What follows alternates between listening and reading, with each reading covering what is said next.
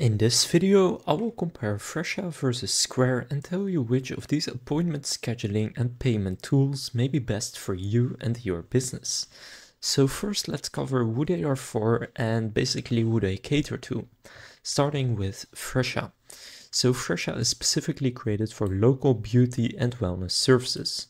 So if you have a service-based business that is in the industry of beauty or wellness, then Fresha is for you. You can see under their services right here, they have massages and hairstyling, nails, eyebrows, barbering, hair removal, and more.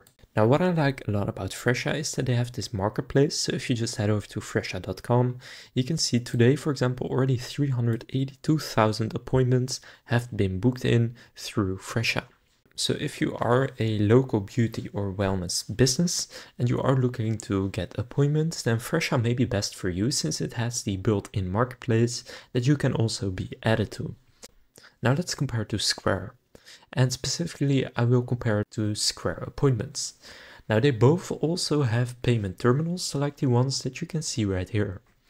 Now if you own a restaurant, then Square is better for you because Square is really good for restaurants. Now you will see they also have beauty as one of their industries and in terms of products they have appointments POS, hardware, invoices, an online store, payment links. You can set up your staff, payroll, banking, marketing, messages and they have integrations. Now if you click on appointments right here, you will be taken to Square Appointments. I've actually tried it and it's very very simple to use. So they will help you simplify your scheduling, maximize your POS, run your business, and put people first. Now in terms of pricing for Square appointments, you can see right here they have a free plan available, which gets you the basics to run your own business while staying ahead of schedule. Then the Plus plan is more advanced features for growing teams that offer top-notch service.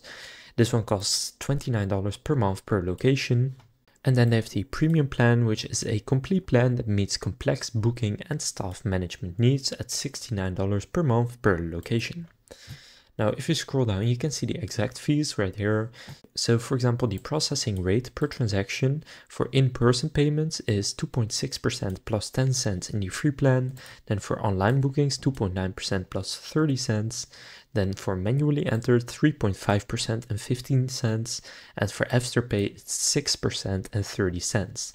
Now when we compare this to Fresha's pricing, this is really where Fresha shines.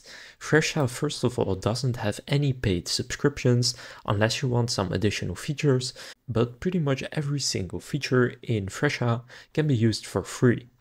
Now all you need to pay is the processing fees. So they also have a card terminal, but you can see it's super cheap.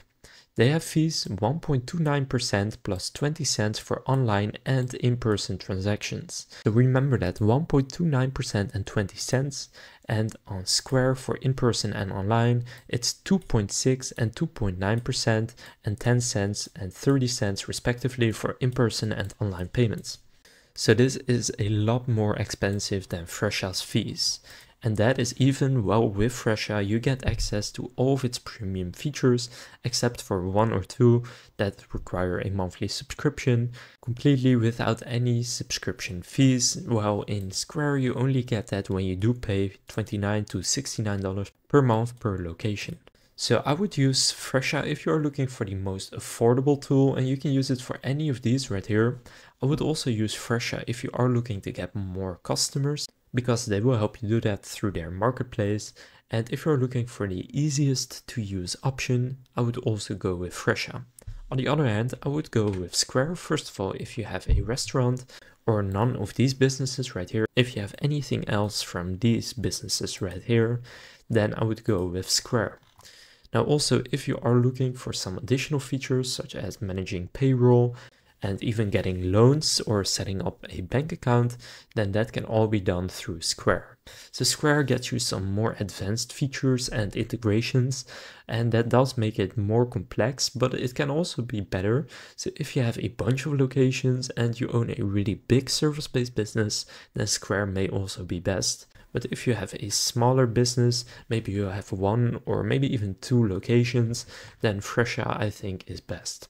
Now, if you look at their customer reviews on Trustpilot, Fresha currently has 1537 reviews and scores 4.4 stars out of 5. Now when we compare this to Square, you can see that Square in the US has over 5000 reviews with 4.3 stars, so they have a very similar score. So in terms of customer reviews, it's clear that these are both awesome tools and whether you pick Fresha or Square, you will most likely be happy with your decision.